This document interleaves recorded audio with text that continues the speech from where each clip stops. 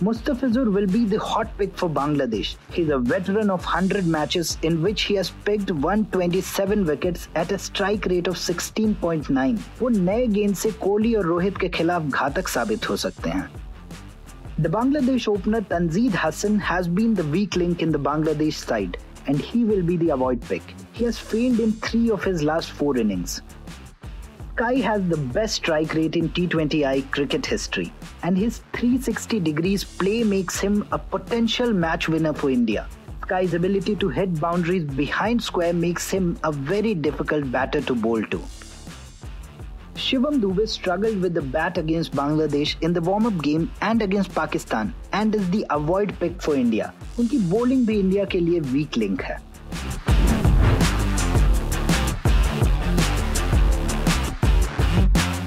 India will start favourites against Bangladesh in Antigua as they have a stronger batting and bowling unit.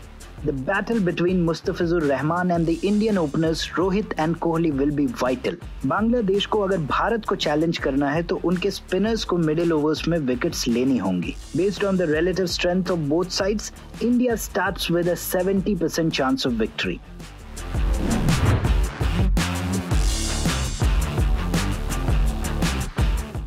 Hardik Pandya could pick some wickets in Antigua and may also contribute with the bat, so will be a good choice for captain.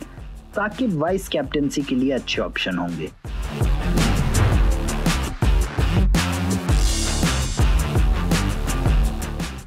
And finally ये है हमारी fantasy 11 for the India versus Bangladesh encounter we have eight players from India and three from Bangladesh Rohit and Kohli will open the innings while Sky, Saqib, Mahmudullah and Pant will comprise the middle order. Bumrah and Fizz will share the new ball while the middle overs will be controlled by Kuldeep and Saqib. Arshdeep death overs may specialist होंगे. Our backup players include Towhid Hridoy as batter Siraj as bowler and Axar as all-rounder.